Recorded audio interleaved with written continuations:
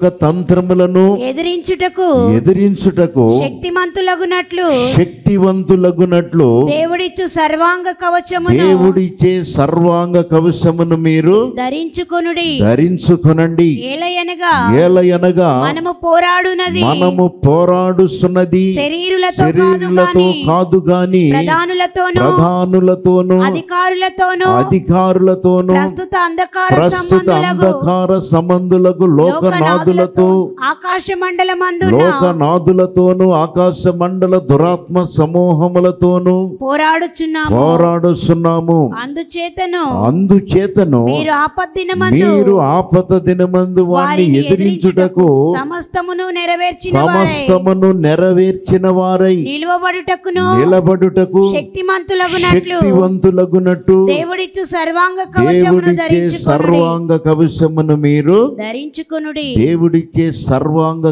కవచమును ధరించుకోవాలి. ప్రతివాడు కూడా క్రీస్తులో రక్షణ పొందిన ప్రతి ఒక్కడు కూడా సాతానుని ఎదిరించేవాడిగా దేవుడిచ్చే సర్వాంగ కవశములను మనము ధరించుకోవాలి. దేవుని యొక్క ఆయన యొక్క మహిమను ధరించుకోవాలి.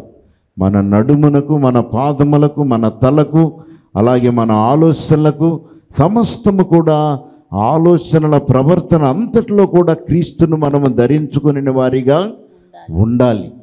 కనుక క్రీస్తు యేసు సంబంధులు బాప్తిసం పొందిన వారు అందరూ కూడా యేసు ప్రభులో ఆయన మహిమను ధరించుకొని ఉన్నారంట. శరీర కార్యములను వారు సిలువ వేశారు. ఈ లోకములో ఉన్నవన్నీ కూడా వారు ఒకప్పుడు వాటి చేత వాడబడిన వారే. అవన్నీ కూడా అపవిత్రమైన క్రియలన్నీ కూడా వారు వాడిని వాడుకలో ఉన్నవే వాటన్నిటిని ఏం చేశారు చెప్పండి? సిలువ వేసి ఉన్నారు. కనుక క్రీస్తు యేసు సంబంధులు ఈరోజు క్రీస్తు మహిమను ధరించుకొని ఉన్నారు. దేవునికి స్తోత్రము.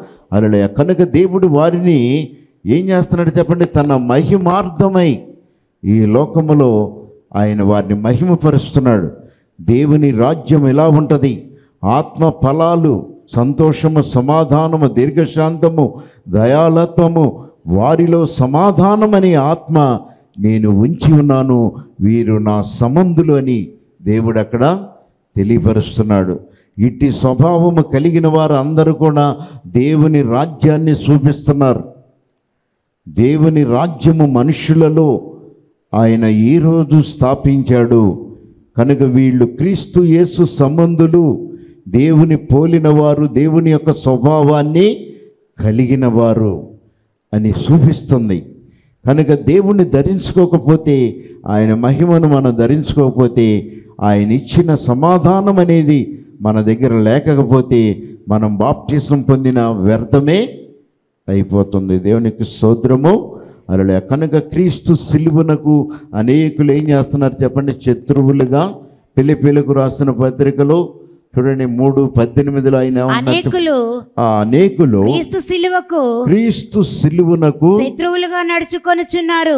చదవండి వీరిని గూర్చి వీరిని గురించి మీతో అనేక పర్యాయములు చెప్పి వీరిని గురించి నేను అనేక పర్యాయములు చెప్పి ఇప్పుడును ఇప్పుడు నేను ఏడ్చుసు చెప్పుస్తున్నాను నాశనమే వారి అంతము. నాశనమే వారి అంతము. వారి కడిపే వారి కడిపే వారి దేవుడు. వారు తాము సిగ్గుపడవలసిన సంగతులయందు సిగ్గుపడవలసిన సంగతులయందు అతిశయపడుచున్నారు.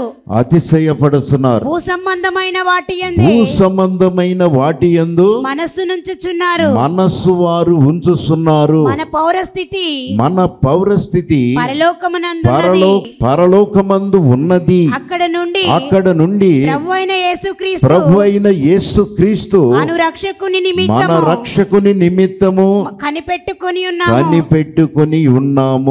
కనుక అక్కడ ఏం చేస్తున్నారు చెప్పండి? అనేకులు క్రీస్తు సిలువనకు ఏం చేస్తున్నారు చెప్పండి? శత్రువులుగా శత్రువులుగా నడుస్తున్నారంట. శరీర కార్యములు చేస్తున్నారు రక్షణ పొంది. వారు ఈ భూ సంబంధమైన మనుషులుగా ప్రవర్తిస్తున్నారు. దేవుడు ఏమన్నారు చెప్పండి? కొలసీలకు రాసిన పత్రికలో మూడో అధ్యాయములో దేవుడు అక్కడ ఏం మాట్లాడారు చెప్పండి? కొలసీలకు రాసిన పత్రిక మూడో అధ్యాయం మొదటి వచనం. క్రీస్తుతో కూడా లేపబడిన వారైతే కూడా లేపబడేవారైతే పైనున్న వాటినే పైనున్న వాటి మీదనే వెదకుడి. వెతకండి. అక్కడ క్రీస్తు. అక్కడ క్రీస్తు దేవుని కుడి పార్వశమున దేవుని కుడి పార్శ్వమున కూర్చుండి ఉన్నాడు. కూర్చుని ఉన్నాడు. పైనున్న వాటి మీదనే మీరు పైనున్న వాటి మీదనే కాని భూ సంబంధమైన వాటి మీద సంబంధమైన వాటి మీద మీరు మనస్సు పెట్టుకొనకుడి. మనస్సు పెట్టుకొనకండి. ఏలయనగా ఏలయనగా మీరు మృతి పొందితిరి. మీరు మృతి పొంది ఉన్నారు. మీ జీవము మీ జీవము క్రీస్తుతో కూడా క్రీస్తుతో కూడా దేవుని యందు దాచబడి ఉన్నది. దేవుని యొద్ద మీరు దాసబడి ఉన్నది. ఉన్నారు. మనం దాసబడి ఉన్నాం.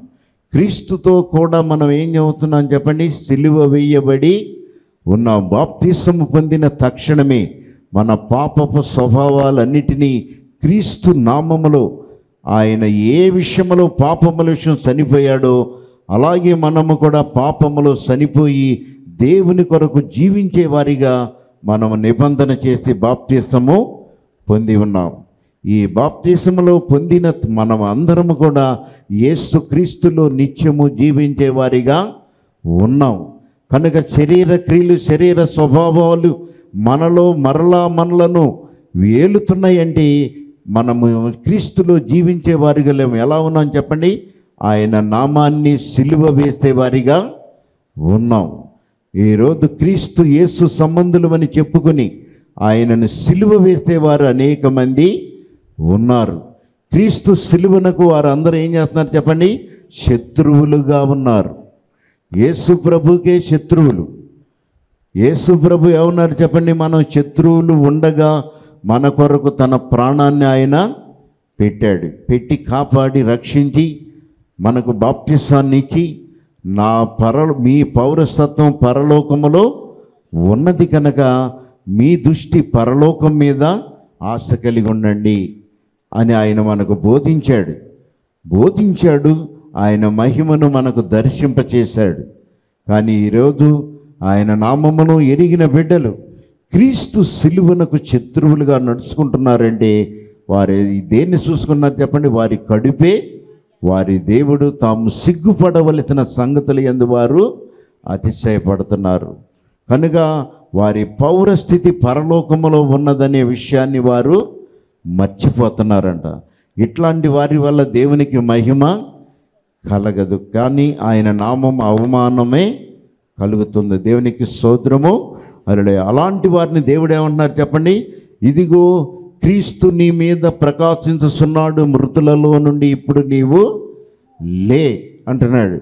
ఈరోజు నీవు మృతుల లోకములో ఉన్నావు కానీ జీవము కలిగి నీవు లేవు. అట్టి వారిని దేవుడు అంటున్నాడు క్రీస్తు నీ మీద ప్రకాశించనై ఉన్నాడు కనుక లే మృతుల లోకములో నుండి ఇప్పుడే నీవు లే అని దేవుడు అక్కడ తెలియపరుస్తున్నాడు. కనుక దేవుడు మనల్ని ఎంతగానో ప్రేమించాడు. ఆయన మహిమ వస్త్రాన్ని మనకు దర్శింపచేశాడు. ఆయన ఈ లోకములో మన కొరకు వస్త్రహీనుడయ్యాడు. తన రక్తాన్ని చిందించాడు. ముళ్ళ కిరీటం పెట్టుకున్నాడు. చేతులలో ఆయన మేకులు కొట్టి అలాగే ఆయన పాదాలలో మేకులు కొట్టి శిలువ మీద ఆయనను వేలాడవేశారు. ఆయన శరీరం అంతా కూడా నాగలి దున్నినట్లుగా కొరడాలతో ఆయనను చీల్చి వేశారు. దేవునికి స్తోత్రము. అలా ఇవన్నీ కూడా మన కొరకే ఆయన శ్రమలు అనుభవించాడు. మనకి మహిమ వస్త్రం కోల్పోయిన మనము తిరిగి ఆ మహిమ వస్త్రాన్ని మనకు దర్శింప చేయడానికి ప్రభు అన్ని శ్రమలు అనుభవించాడు. దేవునికి సోదరము అలా కనుక దేవుడు మనకు మహిమ వస్త్రాన్ని దర్శింపచేశాడు. కనుకనే ఎపిస్తులకు రాసిన పత్రికలో మీరు ఏమన్నారు చెప్పండి? ఆరో అధ్యాయం పదకొండులో మనం చదువుకున్నాం.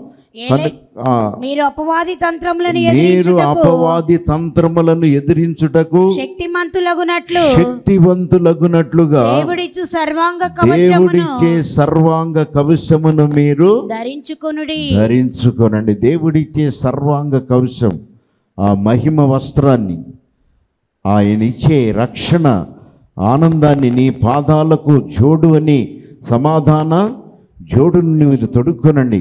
సత్యమనే దట్టిని మీ నడుమునకు కట్టుకొనండి మీ నడుమునకు స్వచ్ఛమని దట్టి కట్టుకొని నీతి అను మైమరము తొడుగుకొని నీతి అనే మైమరము తొడుగుకొని మైమరుపును తొడుగుకొని పాదములకు మీ పాదములకు సమాధాన సువార్త వలనైన సమాధాన సువార్త వలన సిద్ధ మనస్సును జోడు మనస్సు అనే జోడును మీరు తొడుగుకొని తొడుగుకొని నిలవబడుడి. నిలబడండి. ఇవన్నీ గాక ఇవన్నీ కాక విశ్వాసం అనే డాలు పట్టుకొని విశ్వాసమనే డాలును పట్టుకొని దానితో మీరు దానితో మీరు దుష్టుని అగ్ని బాణములన్నిటినీ యొక్క అగ్ని బాణముల ఆర్పుటకు శక్తిమంతులవుదురు. ఆ దుష్టుడి యొక్క అగ్ని బాణాలు ఆర్పే శక్తివంతులుగా మీరు నిలబడాలి. మనం దేవుడి యొక్క దేవుడు మనకిచ్చాడు. జట్టి అయిన వాడు పోరాడినప్పుడు మీరు నియమము లేకపోతే విజయం మీకు దక్కనే దక్కదు. కనుక మనం రక్షణ పొందినాక మనతో పోరాడేవాడు లోకములో సాతానుడున్నాడు. కనుక వాడు ఎవరితోనైనా ఎందుకంటే యేసు నామములో రక్షణ పొందిన ప్రతి ఒక్కరితో వాడు పోరాడుతూనే ఉంటాడు. జట్టి అయిన వాడు మీతో పోరాడినప్పుడు మీరు నియమము లేని వారైతే కిరీటం మీకు దక్కనే దక్కదు అంటున్నాడు. కనుక మీకు కిరీటం కావాలి అంటే దేవుడిచ్చే జీవ కిరీటము కావాలి అంటే ఆ జీవం మీకు కావాలి అంటే నియమము కలిగి మీరు నడుచుకోవాలి. కనుక నియమం లేని వారైతే ఏమవుతారు చెప్పండి?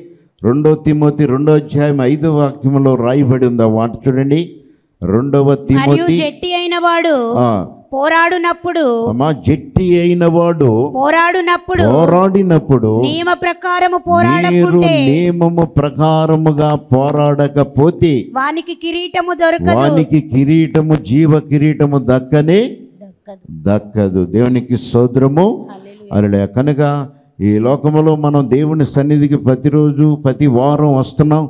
అలాగే ప్రతిరోజు కూడా ఈరోజు దేవుని సన్నిధిలో హాజరవుతున్నాం అంటే దేవుని యొక్క నియమము కలిగిన వారిగా దేవుడి సన్నిధిలో మనం నిలబడాలి.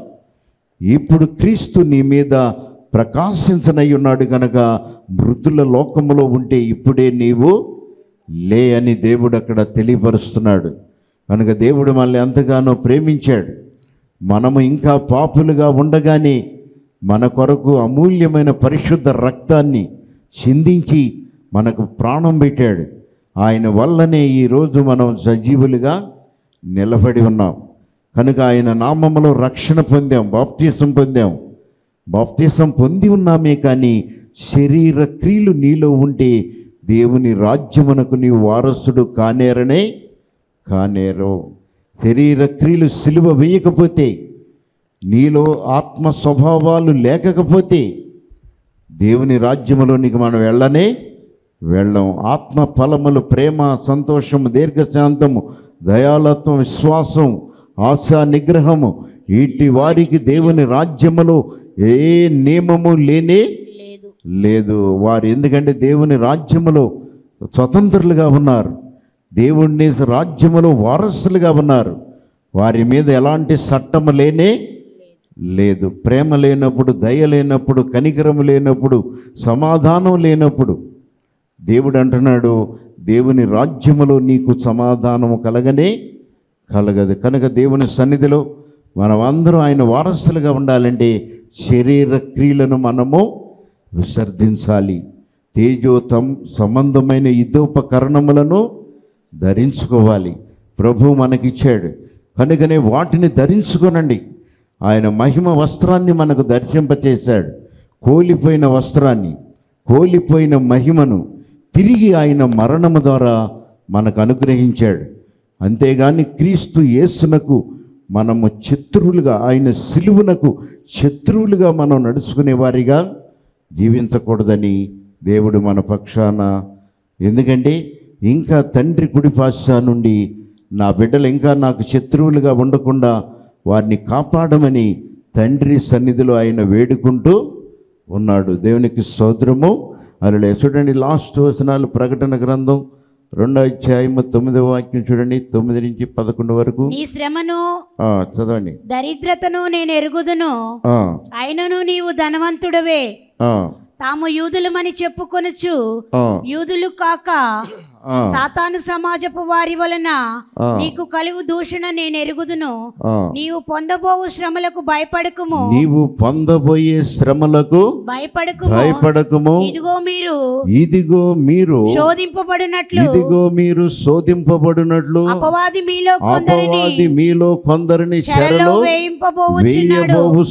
పది పది దినములు మీకు.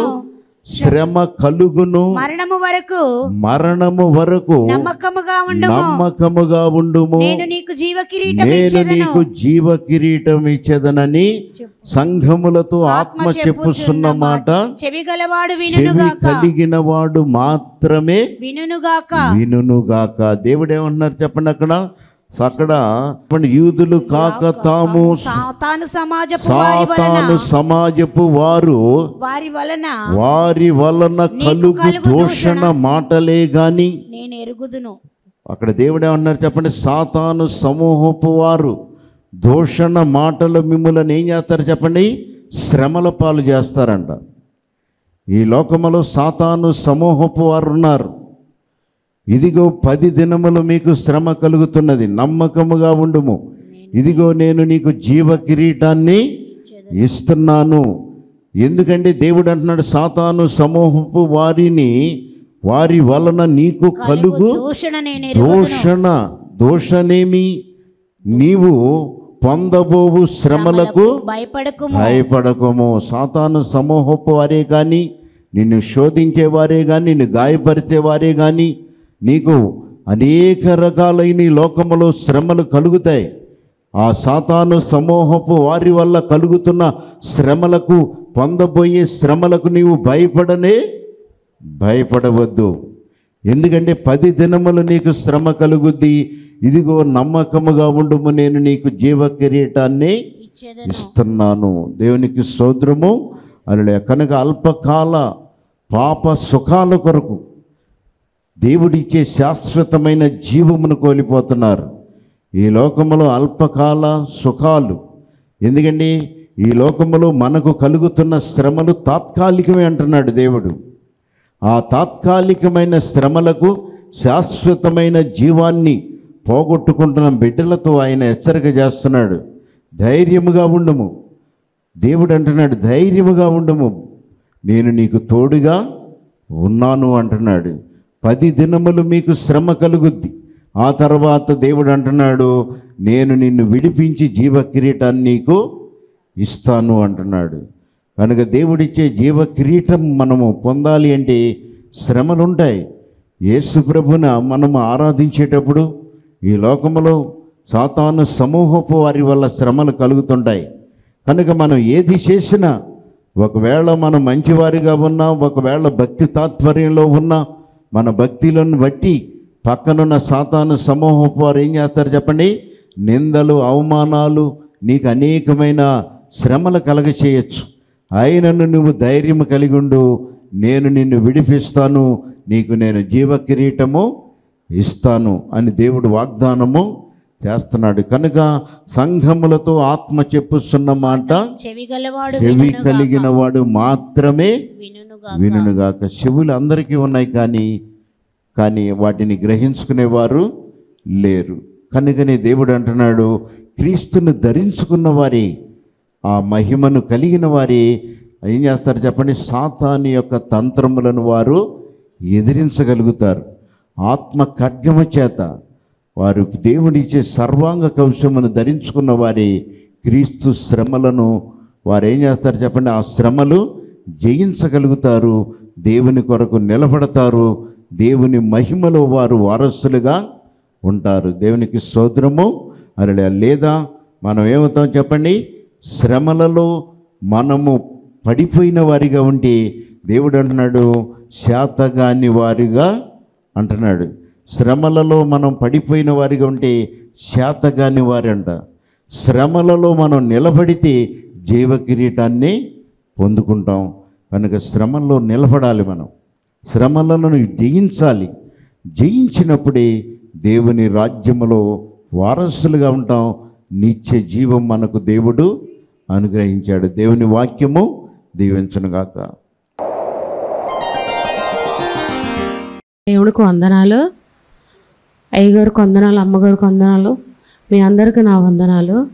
దేవుడు ఎన్నో గొప్ప మేలు చేశాడు. మరి ఇంతవరకు మేము సజీవులుగా ఉన్నామంటే ఇంత దేవుడి కృపని. మరి మా నా పక్షాన అయితే మరి నాకు కొన్ని రోజుల కిందట కాలు నొప్పి వచ్చింది. కాలు నొప్పి వస్తే అసలు నిలబడలేకపోయేదాన్ని కూర్చోలేకపోయేదాను ఎక్కడ నిల్చో సరిగ్గా ఉండలేకపోయేదాను బాగా నొప్పి కాళ్ళు నా అంతలో నా తీసేయాలనిపించేది. స్థిరంగా ఉండేదనుకోను నొప్పి అసలు ఎవరికి చెప్పలేని బాధ. అలాగే హాస్పిటల్కి వెళ్తే వాళ్ళు ట్యాబ్లెట్లు ఇచ్చేవాళ్ళు కానీ తగ్గేది కాదు. ఒకసారి గవర్నమెంట్ హాస్పిటల్కి వెళ్తే ఆయన అన్నాడు అది ఒక వస్తుందమ్మా వచ్చినా సరే దానంతలో అదే తగ్గాలి లేకపోతే ఇంక ఇంకంతే నాది ఎప్పటికి ఇంకా అలాగే ఉంటుంది అని అంటే చాలా భయపడిపోయినాను. ఎందుకంటే పది నిమిషాలు బాధపడలేకపోతానని ఒకరోజు అమ్మగారు ఇంకా అమెరికా వెళ్ళారు. అక్కడికించి ఫోన్ చేశారు భవానీ ఎలాగున్నారమ్మా అని. బాగున్నాం అమ్మగారు. నాకైతే కాలు నొప్పి ఉంది అమ్మగారు. నాకైతే అసలు బ్రతకాలని లేదు. అసలు ఎంత బాధ భరించలేకపోతాను అమ్మగారు అని ఏడుస్తుంటే అమ్మగారు అయితే నవ్వుకుంటా ఏదో నీ బలహీనత ఉంటుంది చూడమ్మా. నువ్వు నువ్వు ఒప్పుకో నీ బలహీనత ఉన్న ఒప్పుకో. మరి ఆలోచించుకొని ఇంక అమ్మగారు అంటే అమ్మగారు నేను ఏం చేయాలి? అమ్మగారు నేనైతే ప్రార్థన చేసుకుంటాను కదా అని నేనంటే లేదమ్మా ఏదో ఒకటి ఉంటేనే కారణము అది ఉంటుంది. లేకపోతే నీకు ఉండదు అని అమ్మగారు అన్నారు. అన్నప్పుడు ఇంకా నేనేం చేయాలి ప్రభా నాయన? మరి నేనే పాపం చేశానని చాలా దుఃఖపడేదాను ఇంకా అలాగే ఒకసారి మా చిన్నమ్మాయి బైబిల్ చదువుతుండి అది పట్టీల గురించి చెప్పిందనమాట. గజ్జిలు వాళ్ళు పట్టుకొని తిరగొద్దు అని ఒక ఇనిగా చెప్పింది వాక్యం ద్వారాన. అయితే ఇంక అదే మాట అనమాట అమ్మగారు కూడా మళ్ళీ అన్నారు. పట్టీలు తీసేవచ్చుగమ్మా అని. నేను తీయలే ఇంక అలాగే ఇంకా రోజు అలాగే ఇంకా అయిపోయి మూడు రోజు అప్పుడు అమ్మగారు చెప్పి మూడు రోజులు అయింది. నేను అలా బాధపడతాను కానీ తీయట్లేను. ఒక రోజు అయితే బాగా కాలు వాసి ఇంకా అసలు నడవనని కూడా లేదు. ఇంకా చాలా బాధతో బాధపడతాను. తర్వాత నా అంతలో నాకు ఎందుకో గుర్తొచ్చింది. ఇంతకన్నా చెప్తే ఇంకా నేను తీయకుంటాను కదా. నేనేమైనా కాలు ఏమైనా అయిపోతే నేనేం అవ్వాలన్న పరిస్థితి ఏంటని ఆ రోజు నేను తీసేసా. తీసేసిన అమ్మటే నాకు ఒక పది నిమిషాలకే కాలు నొప్పి తగ్గిపోయింది. ఇంకప్పుడు కంచి నేను అది పెట్టుకోలేదు. నాకు కాలు నొప్పి లేదు. మళ్ళీ ఇంకా అలాగే మా ఆయనకి కూడా ఆయన ఏంటంటే కొన్ని రోజులు చర్చికి రాకుండా వ్యాపారం అని ఆదివారం ఒక రోజే ఉంటుంది వ్యాపారము. ఇంకా అది ఈ నేను మళ్ళీ వారం వస్తానులే మళ్ళీ వారం వస్తానులే అలాగని బాగా బలహీన అయిపోయినాం రాకుండా చర్చికి రాకుండా ఇంకా అలాగే అయిపోయాడు. అయిపోయినాక కొన్ని రోజులకి అమ్మగారు అయ్యగారు చెప్తున్నా వినిపించుకోలేదు. ఎన్నోసార్లు వాళ్ళని దుఃఖపెట్టి బాధ పెట్టాము. వాళ్ళ మాట కాదని ఇంకా ఎన్నో ఎన్నెన్నో శిక్షలు పడుతున్నా మేము. అసలు వెనక తిరిగి చూడక ఇంకా అలాగే ఉండోలము ఏంటి? మా పరిస్థితి ఏంటి అని ఆలోచించుకోలేము కానీ దేవుడు ఎంత బాధ పెట్టినా ఎంత శ్రమ వచ్చినా మళ్ళీ ఆ క్షణంకి మమ్మల్ని ఇడిపించాడు. ఎందుకంటే మాకంటూ ఎవరూ లేరు. మాకంటూ ఏ కుటుంబం అనేది లేదు. మమ్మల్ని ఆదరించే వాళ్ళు కూడా లేరు. ఎన్నో మా బరువు మా బాధ్యత మా కష్టం మేమే. ఆలోచించుకొని ఏడ్చుకొని ఆ రోజు దుఃఖంతో ప్రార్థన చేస్తే పొద్దున్న వరకు నాకు దేవుడు నా పక్షాన యాజ్యమాడి ఎన్నో శ్రమలు కంచి ఎన్నంటే చెప్పలేనంత భరించలేని బాధలు ఎవరు అలాంటి పడలేరు. కానీ దేవుడు నా పక్షాన ఎన్నో నా పక్షాన సహాయం చేశాడు. ఇంకా అలాగే మా ఆయన ఇంకా నడుము నొప్పి ఇరవై నాలుగు గంటల నడుము నొప్పి బాధతో చాలా బాధపడాడు నేనైతే కోపం నాకు మనసులో అభిమానం ఉంచుకునేదాన్ని కానీ బయటకైతే బాగా తిట్టేదాన్ని దూషించేదాన్ని. నీకు అలాగే జరుగుద్ది నీకు ఇదంతా దేవుడు పెట్టింది అని. నువ్వు దేవుడిని దూషిస్తావు దేవుడిని ఎప్పుడు ప్రేమించవు. మరి దేవుడిని ఎన్నో గొప్ప మేలు చేశాడు. ఆ రోజు యాక్సిడెంట్లో మరి అంత గొప్ప మేలు చేశాడు దేవుడు. అది మర్చిపోయినావు. మరి ఇంకా నీవు దేవుడు దగ్గరికి రమ్మంటే నాకు షా- షాప్ అంటూ వ్యాపారం అంటావు కేవలం దేవుడు పెట్టిందే అని అంటే నువ్వే నాకు శాపాలు పెడతాను అని ఇంకా అలాగా ఇంక మా ఇద్దరం అనుకుంటూ గొడవ ఆడుకుంటోళ్ళం కానీ ప్రార్థన చేసాడు కాదు. నువ్వే ప్రార్థన చే నువ్వే పాశ్రమగా ఇంకేంటి అన్నట్టుగా నన్ను వేలం చేసాడు కోపగిచ్చుకుంటాడు నేనైతే ప్రభా నీ చిత్తమునైనా నాకైతే తెలుసు నాయన ఇదైతే ఇది నువ్వే పెట్టావు ప్రభా. అయ్యా ఆయనకు ఆ గ్రహింపు దయచేయి నాయన నేను ప్రార్థన చేసుకునేదాన్ని కానీ నేను ఎప్పుడు హాస్పిటల్కి వెళ్ళనేదాన్ని కాను. అలాగా నాలుగైదు హాస్పిటల్కి వెళ్ళేవాడు వెళ్తే ఏమైనా ఎంఆర్ఐ స్కానింగ్ తీయమన్నారు. ఆపరేషన్ పడుద్ది. అది ఇక్కడ అది బోన్ అరిగిపోయింది అని చెప్పినారు. అప్పుడేమి? ఏం చేయాలి ప్రభా? మాకు మా చూస్తే పేద పరిస్థితి. మరి మేమైతే ఆపరేషన్లు ఫస్ట్ అప్పుడే మేజర్ ఆపరేషన్లు అయినాయి బ్రెయిన్ ఆపరేషన్ అయింది. మరి అన్ని విధాలైన మనిషికి మళ్ళీ కదిలీయడం ఏంటి ప్రభా?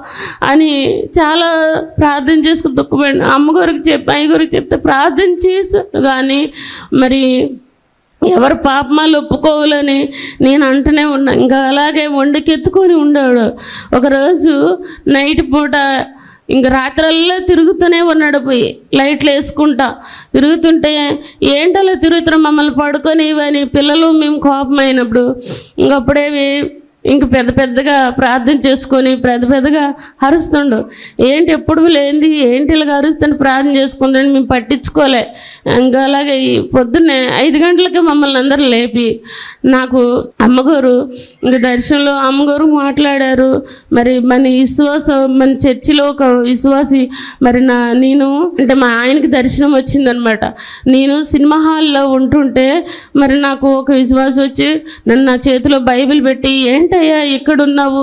మరి అక్కడ ఒకటి మీటింగ్ జరుగుతుంది. అయ్యగారు వాక్యం చెప్తుంటే నువ్వు ఇక్కడ కూర్చున్నావు ఏంటని?